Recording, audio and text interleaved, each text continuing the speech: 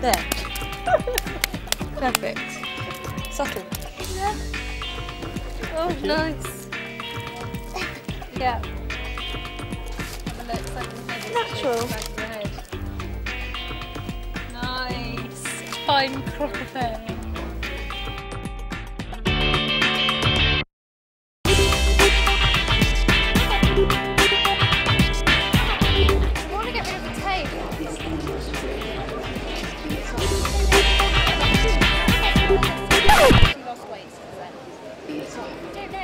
Like I saw her yesterday. She's actually lost. I did have some armpit hair that I was going to shove up for Julia Roberts, but I got it taken off. I think she would have found that funny. I think she'd probably have found it. I don't think she'd have noticed. I think we now know she's kind of free-spirited kind of woman and would have just kind of gone, hey, whatever you want to do, do it.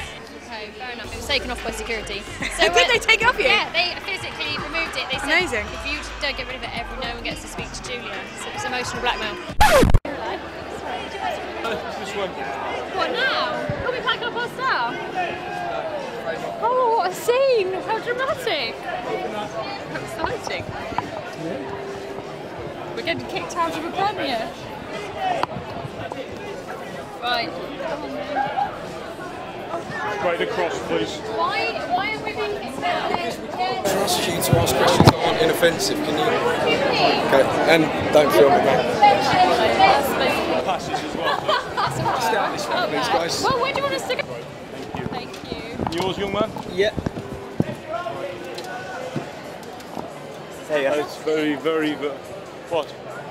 People getting kicked You out of the carpet. No, that's fine. You won't get This any more of never them. happened before. I don't know.